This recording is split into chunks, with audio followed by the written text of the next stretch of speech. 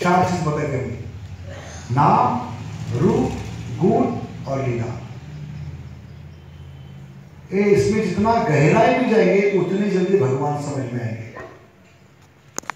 ये चार चीज़ों में, कि कोई भी व्यक्ति है, कोई भी चीज़ है, उसको पहचानना, उसको जानना, उसको प्राप्त करना, उसके लिए क्या चाहिए? ये चार चीज़। उस चीज़ का नाम क्या है? उसका रूप क्या है? उसका गुण क्या है? और वो चीज़ क्या कर सकते हैं? लीला समझ गए?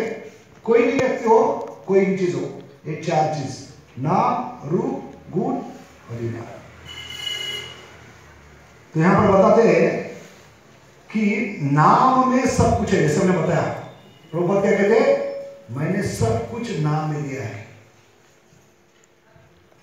इस नाम को छोड़कर आप यहाँ वहाँ मत जाओ, इस बाबा के पास, उस बाबा के पास।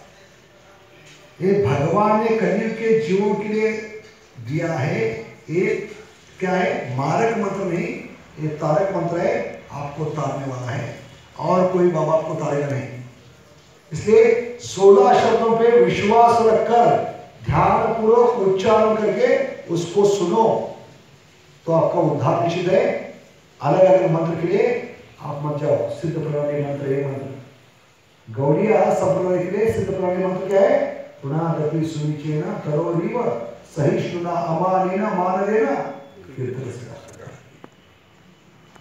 ये मंत्र को लेकर आप श्रवण कीर्तन करो। कि श्रवण में भावना क्या नहीं होनी चाहिए दीनत्व की। अरे दीनत्व की भावना यहाँ पर बताइए। तुनादपि तुलसी भी ज़्यादा नम्र बनकर।